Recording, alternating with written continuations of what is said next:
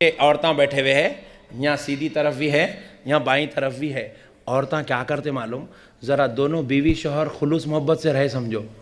अनंतपुर के औरतों से अम्मा मेरे बेटे को दवा डाल दीजिए ने. औरतां ये औरत औरत जब तक भव है अच्छी है। सास बनते की डेंजर हो जाती। डेंजर मियाँ बीवी की टेंशन क्यों होती है? ये सोच कर ही मेरे पेट में ना गुदगुदी सी मचने लग जाती है, क्योंकि अब मेरी उम्र भी शादी करने योग्य हो गई है और मैं दुआ मांगती हूँ अल्लाह सुबहान व ताला से कि किसी भी मियाँ बीवी के बीच टेंशन ना हो तो ही बेहतर है। हे हाय, हेलो, नमस्ते जी।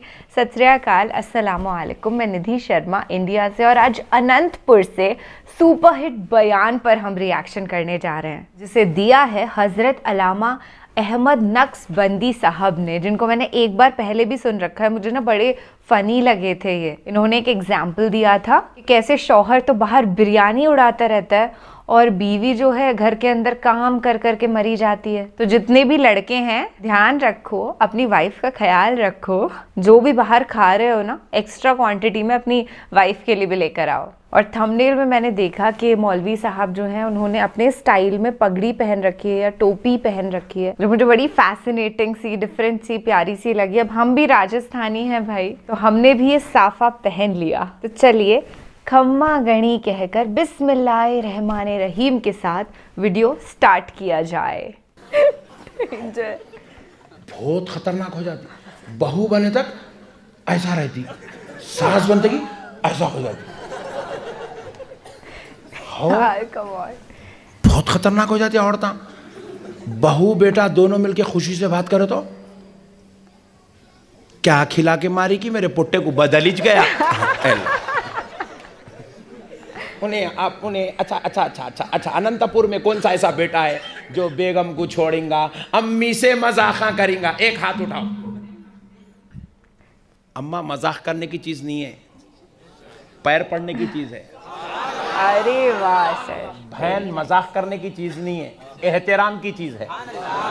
और बीवी पैरा पड़ने की चीज़ नहीं है मज़ाक करने की चीज़ है। सुबह अल्लाह सुबह मेरे से मिल के रहो बहुत मसले हल करता हूँ मैं। और बगैर तावीज के हल कर देता हूँ खुदा की कसम। ये बगैर तावीज के बगैर इक्कीस रुपए लिए के। इक्कीस हज़ार की तावीज दे देता हूँ बातों बातों में। बेस्ट है सर बोलो अम्मा क्या है? पैर पड़ने की चीज़ है। और बेगम? मज़ाक डरो न करे बोलो। हम्म बोलो।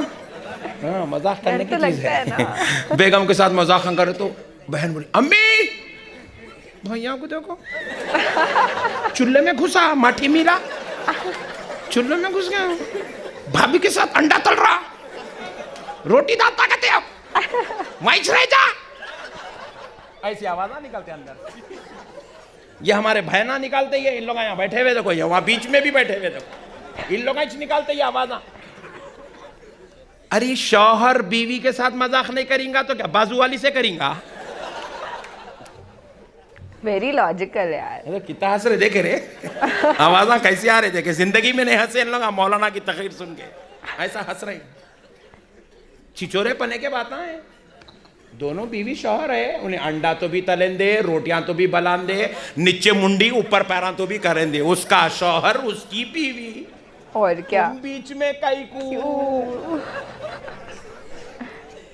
नहीं सास है तो दुआ दियो।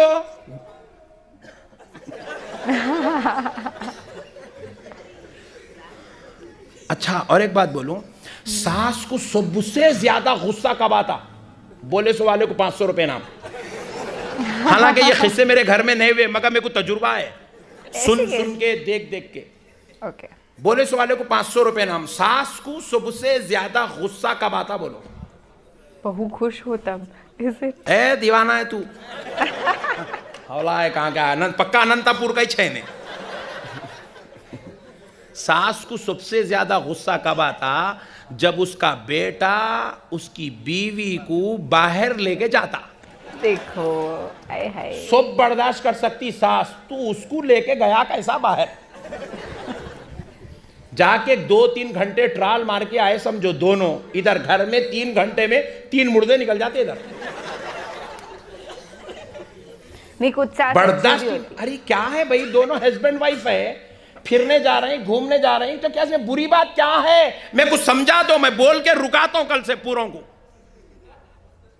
अरे अल्लाह का शुक्र अदा करो तुम्हारा बेटा हलाल रिश्ते के साथ घूमने जा रहा। Exactly exactly. अगर तुम उसको घर में बीवी के साथ जाने नहीं देंगे उन्हें दूसरों को ले लेके फिरता।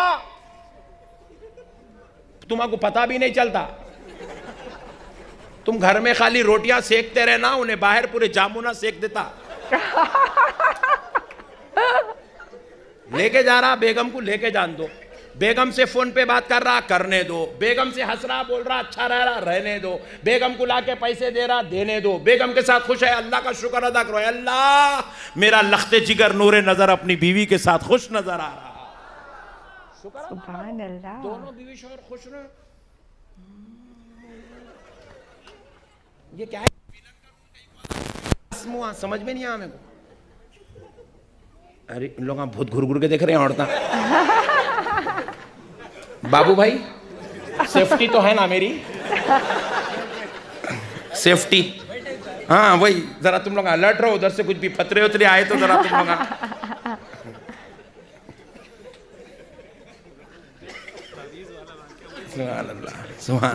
साहब तो बहुत ही नहीं बहू के साथ खुश रहा तो सासू माँ खुश हो ना भाई? जब अगर तुम्हाकू बहू के साथ बेटा खुश रहा तुम्हाकू तकलीफ़ होती तो फिर शादी करके लाइक कई को पुट्टे को वैसी रख देना था वो मरे तक। हाँ भाई। नहीं। मेरे मैं भी ऐसा तकरीर करता हूँ ना। तकरीर करता हूँ लोग हँसते मेरे बयान में।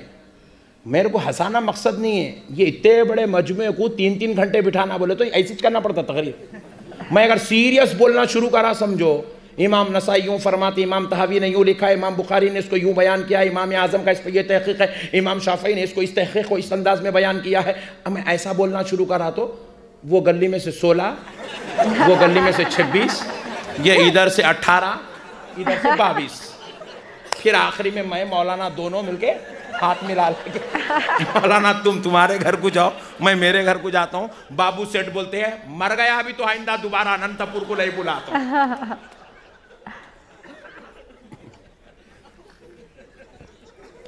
very funny I love him तो बयान करने का भी एक भाई देखो जैसे हालात वैसी जैसी बॉलिंग वैसी बैटिंग भाई। जैसी पिच है वैसा खेलना पड़ता है यार। हर पिच पे छक्का मारो बोले तो आउट हो जाते वैसा नहीं होता। पिच को देख के बैटिंग करना पड़ता। है ना भाई? तो अब देखो आप हम कर रहे हैं। अब बस मौलाना लोग "हम्म, पूरी पब्लिक इसको सुन रही है। पब्लिक पूरी इसको सुन रही है। मैं बयान रोज मेरे कोई भी नहीं सुन रहे, सब इसको सुन रहे। बाज मौलाना रहते छोटे छोटे दिलों के रहते इतना ही रहता दिल उनका। बहुत तकलीफ़ होती है उनको देख के, वमिन शर्रि हासिदिन हसद, वमिन शर्रि हासिदिन हसद। पढ़ लेते जाना फूक लेते जाना पड़ता आपने ऐसा होता, कई मरता तो फिर मैं बोलता हूँ, जब मेरे को पब्लिक को देख के तेरे को इतनी तकलीफ़ होने वाली तो बुलाया कई बुरे। बात समझ रहे ना भैया? जब आप मेरे को बुलाए हैं तो मेरी अदाओं से आपको खुश होना ज़रूरी है। और क्या? मेरी तकरीर को एक्सेप्ट करना आप ज़रूरी है। इसी तरीके से जब आप किसी को बहू बना के घर को लाए हैं तो फिर बहू के नाज नखरे लाड़ा मोहब्बत खुलूस बाज बाज वक्त उन्हें गुस्से में भी आती उन्हें इंसान की चौलाद है जिनकी बेटी तो नहीं होती। नहीं बाज बाज वक्त रोती बाज वक्त जिद करती मैं अम्मी के घर को जाती हूँ बोल के। तुम्हारी बेटी नहीं करती। उन्हें बहू है, उन्हें भी किसी की बेटी उन्हें वैसा जिद करती। बर्दाश्त करना, सबर करना, अम्मा मेरी बेटी इधरा बोल के खरीब करना, कलेजे को लगा लेना, उसको थोड़े पैसे देना, आज बेटा अच्छा कमा के लाया तो उसको गोल्ड दिलाना, कतान की साड़ियाँ दिलाना नए नए ड्रेसा दिलाना, उसको घर को जाती बोले तो अपन खुद ले जाके छोड़ के आना उसको। जब तुम ये सब नहीं कर सकते तो फिर बहू बना के लाइक कई को। जब तुम ये नहीं कर सकते तो फिर उसके साथ तुम रिश्ता करे कई को। उसके बाबा कन से पलंग अलमारी फ्रिज एयर कूलर कई को।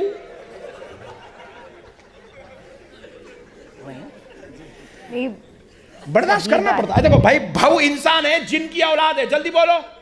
इंसान है। अच्छा तुम लोग के घर में जो है ना भी इंसान ही है। अल्लाह। अल्लाह का शुक्र है इंसान से शादी करे तुम लोग। तो इंसान है तो उसके साथ उसको गुस्सा आता नहीं आता कभी? कभी चिड़चिड़ी होती नहीं होती? बच्ची चाहिए उन्हें। बीस साल बाईस साल तेईस साल पच्चीस साल की बच्ची है उन्हें। और अभी बच्ची खाली उम्र के एतबार से बाली हो जाती मगर मैच्योरिटी नहीं आती उसके अंदर। उसको धक्के खा खा खा खा खा के पैंतीस साल चालीस साल में औरत मैच्योर होती। या। अपन लोग बोले तो रोज़ाना बाहर निकलते। रोज़ाना चालीस हिस्से देखते, चालीस कहानियाँ सुनते, चालीस वाकयात देखते। औरत घर के बाहर निकलती, चार दीवारी में रहने वाली, ना उन्हें हिस्से देखती, ना कहानियाँ देखती, ना दास्तान देखती, ना किसी से मिलती, ना किसी से बात करती, कुछ भी नहीं, पर्दे में। इसलिए औरत बालिग तो होती, मगर मैच्योर नहीं होती, समझदार नहीं होती। समझदार होने के लिए उसको टाइम लगता। कम से कम दो बच्चों की माँ बन जाए या चार बच्चों की माँ बन जाए, जब जाके वो समझदार होती है, उस वक्त तक सास को सास बनकर नहीं माँ बन के रिश्ता निभाना चाहिए। मोहब्बत से रिश्ता निभाना चाहिए। प्यार से रिश्ता निभाना चाहिए। उसकी जिद को बर्दाश्त करना चाहिए। उसकी शरारत को बर्दाश्त करना चाहिए। उसकी तबीयत को समझना चाहिए। उसको दिलाते रहना चाहिए। उसको खिलाते रहना चाहिए। उसके मामलात पूरे करते रहना चाहिए। उसकी खुशियों का लिहाज रखो। उसकी ख्वाहिशात का लिहाज रखो। उसकी आरजुओं तमन्नाओं का लिहाज रखो। जब तुम ये सारे काम करते हो तो एक वक्त आएगा सास बीमार पड़ के बिस्तर पर ऐसे पड़ेगी कि ज़रूरत को नहीं जा सकेगी। उस वक्त तो तुम्हारी बेटी ससुराल से नहीं आएगी यही बहू तुम्हारी बेटी बनकर बिस्तर पे तुम्हारी खिदमत करती नज़र आएगी। सुभान अल्लाह व्हाट अ मैसेज अब संभालो वो तुमको बुढ़ापे में संभालेगी। तुम अब ख्याल करो वो बुढ़ापे में तुम्हारा ख्याल करेगी। तुम अब नड़ली मते तो उन्हें जब नड़ली मत देती। इसका मतलब क्या हुआ कमेंट्स में? अल्लाह का कानून है। अब इनो ना समझ है। बच्ची है भाई बच्ची है छोटी बच्ची है यार वो। छोटी बच्ची है आपके घर में बेटियाँ हैं नहीं है। किसके घर में नहीं है? हाथ उठाओ जल्दी। ऐसा घर ही चुने बना जिसमें अल्लाह की रहमत ना हो। हर घर में अल्लाह की रहमत है बेटी। नहीं बेटी अल्लाह की रहमत है हर घर में। आपके घर में देखो 20 साल की बेटी है आपके घर में 22 साल की बेटी है। कितना भी बोलो उसके उतना नादान घर में कोई भी नहीं रहता। वो एक फूल है मेरे भाई। गॉड ही सो वो एक फूल है। बास बेटियाँ जिद्दी रहते बास बच्चियों में रहती तबीयत में शरारत रहती। सुनते नहीं बात समझते नहीं। मगर आप उन्हें नहीं सुन रही नहीं समझ रही बोल के पकड़ के नड्डी मोड़ देते क्या? समझाना उसको समझाना। मोहब्बत से देखना उसकी उसकी उसकी वीकनेस कहाँ है उसकी कमज़ोरी कहाँ है कहाँ सुनती उन्हें। बास बच्चियाँ क्या करते हैं जरा कपड़े दिलाते कि फिसल जाते हैं। दिला देना महीने को एक दो जोड़े तीन तीन सौ रुपये जान दो दे दो, दो तीन तीन। रख लो भैया माँ रख लो मैं छग्गू रख लो। अब उन्हें बोलती खुदा की कसम मेरी सास मेरी अम्मा से अच्छी है बोलती। हाँ जी चीज़। है एक चीज़ बोलता हूँ औरत की कमज़ोरी। पूरी दुनिया में जितने औरतें यहाँ बैठे हुए नहीं इन लोगों की भी कमज़ोरी है ये। इन लोगों कुछ नहीं मालूम अपने को मालूम। ओके। बोलो। कितना जल्दी? बोलो बोलो जल्दी बोलो। क्योंकि ये मजलूम लोग आए बेचारे लोग घरों में टेंशनों से गुजर रहे लोग इसलिए जल्दी बोलो मौलाना जल्दी। I also want to listen it औरत की एक कमज़ोरी है। ओके अगर वो कमज़ोरी में आप अगर उसको दूर कर दिए ना औरत गुलाम बन जाती। बीवी भी नहीं गुलाम बनती गुलाम। ओके तुम लोग नको सुनो जी औरता लाइट ले लो बातें कर लो तुम लोग बातें कर लो। हम लोगों को जरा बोलने दो। औरत की एक कमज़ोरी है क्या मालूम? औरत तारीफ़ सुनना बहुत पसंद करती। अब्बा औरत को दीवाना बनाना है गुलाम बनाना है तारीफ़ कर देना उसकी तारीफ़। तारीफ़ कर देना। एक बीवी और शौहर दोनों में झगड़ा दो बच्चे हो गए। झगड़ा झगड़ा झगड़ा झगड़ा झगड़ा झगड़ा आठ साल गुजर गए झगड़े में। अरे नहीं यार। आठ साल का बेजार आ गए लड़ते लड़ते लड़ते लड़ते। अपने पीर साहब का नहीं गए, दोनों मिल मिलके एक साहब के मुरीद थे दोनों, अल्लाह वाले के मुरीद थे, गए अल्लाह वाले के पास। पीर का नहीं गए, मंगल का नहीं। पीर का नहीं गए। पीर साहब को बोले, जाके हज़रत, हम दोनों तलाक लेने का इरादा कर लिए अलग होने का। मैं इनको तलाक देना चाहता हूँ, आप हमारी तलाक करवा दीजिए। हज़रत खिबला परेशान हो गए, दीवाने पुट्टे, ये क्या कर ले रहे हैं तुम लोग? आठ साल होगा शादी होके दो बच्चे पैदा हो गए। अब क्या है रे तमाशा दीवाने पने के बाद आधी ज़िंदगी गुजर गई। क्या के चिचोरे पने के बाद आए? बोले नहीं हज़रत नहीं बर्दाश्त हो रहा आप। नहीं रह सक रहे बोले। नहीं बर्दाश्त हो रहा हज़रत।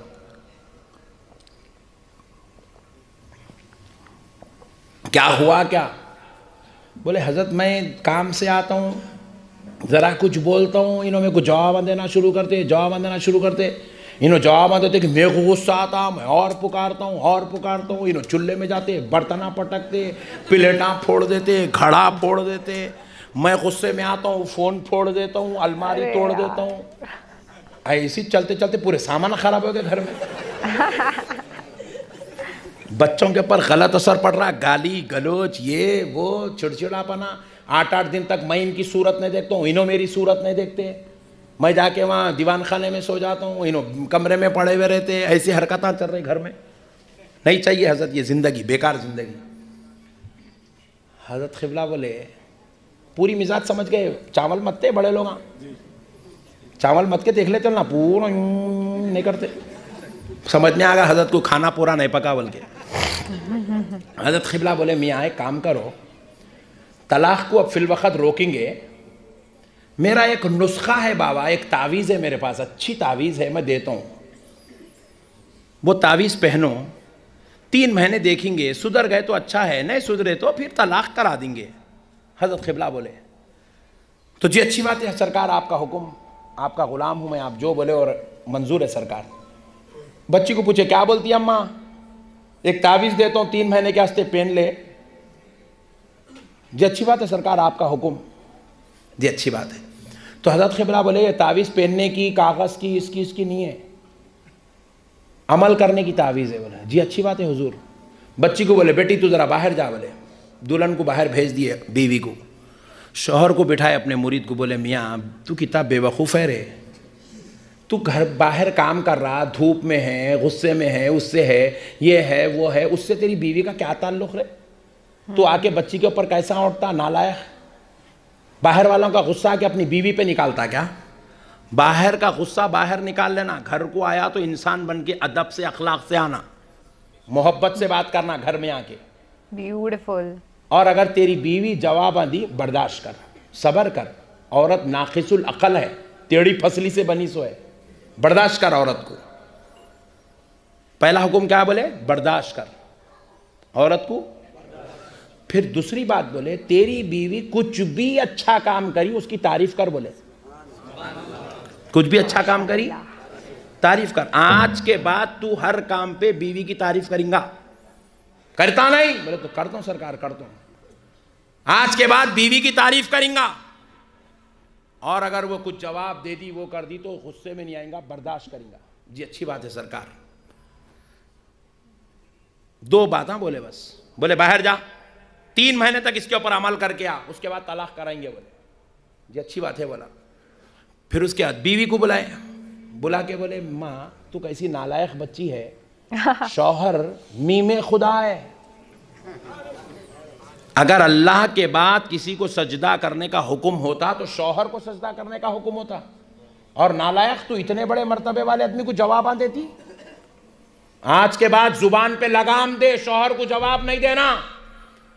बाहर पचास कामा करता, लोगों के बातें सुनता, गुस्सा सुनता, काम करता, धूप में, बारिश में, सर्दी में, मेहनत करके घर को आता। आए बात, तू उसको जवाब दी तो उसको गुस्सा पलट के आता। आइंदा से तू जवाब नहीं देंगी। बोले, सरकार नहीं देती। आइंदा से शोहर को गुस्सा।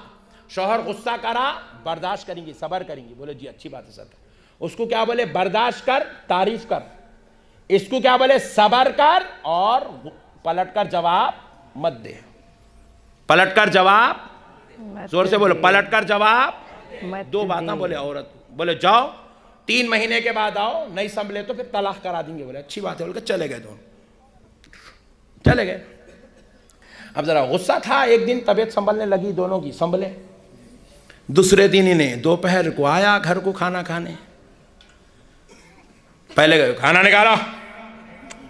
ऐसा नहीं बोल रहा आप हज़रत बोले नहीं अदब से बात करना घर का घर में बाहर का बाहर बोले। आते कि बेगम खाना निकालते? इन्हें बोली आ।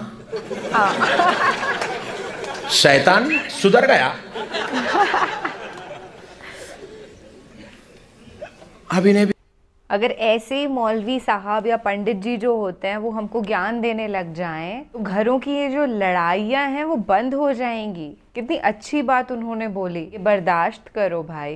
And men and women are equally important that's feminism feminism ये नहीं है कि औरत बहुत ऊपर है। इक्वल राइट्स दोनों को मिलने चाहिए। स्पेशली वो औरतें जो हाउस वाइफ्स होती हैं उन्होंने बाहर की ज़िंदगी ज़्यादा देखी नहीं होती है। और पति भी अगर ज़्यादा अपने आप को बहुत महान समझने लग जाएगा, अरे I am the man of the house बाकी लोगों को डोमिनेट करने लग जाएगा। तो इससे घर में लड़ाइयाँ बढ़ती ही हैं, कम तो हरगिज़ नहीं हो सकती। तकरीर और बयान अगर इतने लाइवली इतने फ़नी होने लग जाए ना तो पूरा यूथ अट्रैक्ट हो जाएगा इनकी तरफ़। और बोलने का तरीका जो है that is supreme I love the accent and I really hope कि दोबारा से हमें मौलाना साहब को सुनने का मौका मिले। रहमन धागा प्रेम का मत तोड़ो चटकाए, टूटे से फिर ना जुड़े जुड़े गांठ पड़ जाए। तो बार बार लड़ाई झगड़े नहीं होने चाहिए और अगर हो भी गए हैं तो अभी प्रण ले लो कि नेक्स्ट टाइम नहीं होगा। चाइना के अंदर जब एक कटोरी टूट जाती है तो उसको सोने की वायर से चिपका देते हैं ताकि वो और ब्यूटीफुल हो जाए। तो पुरानी लड़ाई झगड़ों को छोड़ करके,